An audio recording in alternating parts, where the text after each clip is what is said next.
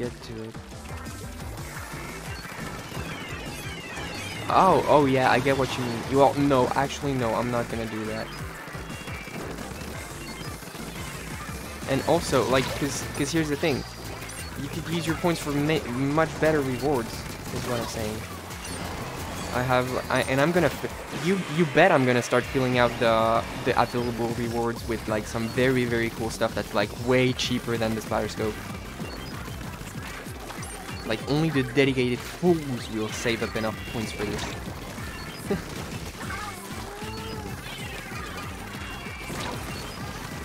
you really like, I don't know, you, you need to be like a super fan of the of this scope if you really want to save up that many points. What does Harold do? At this point he needed a point sharing system to get there, yeah.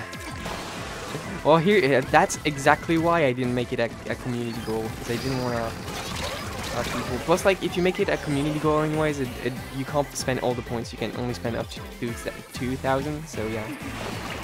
Wonder what points will take many years, yes.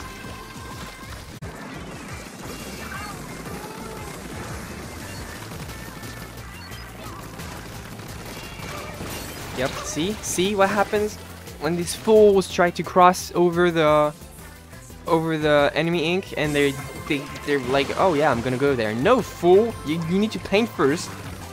Otherwise, you could just get smashed easily.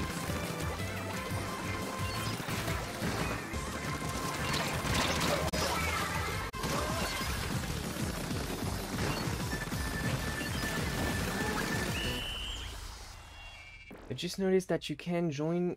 You can't join friends in pro. Well, that's the whole point. Because professionals don't have friends.